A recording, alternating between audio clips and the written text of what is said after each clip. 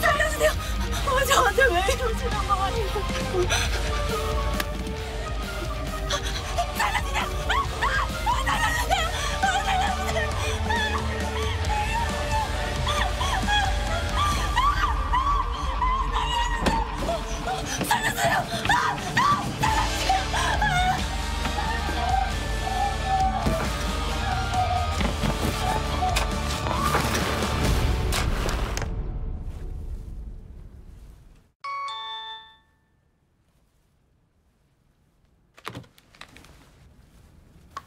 뭐야?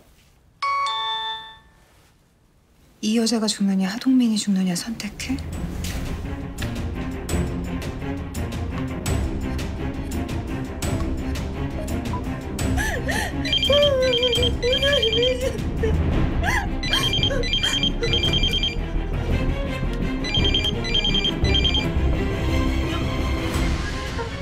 박보현, 너 뭐야?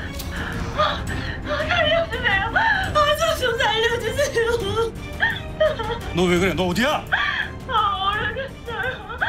아까 약국 다녀오다가 어떤 남자한테 붙잡혔는데 그대로 기억이 없고 지금 땅속에 묻혀 있어요.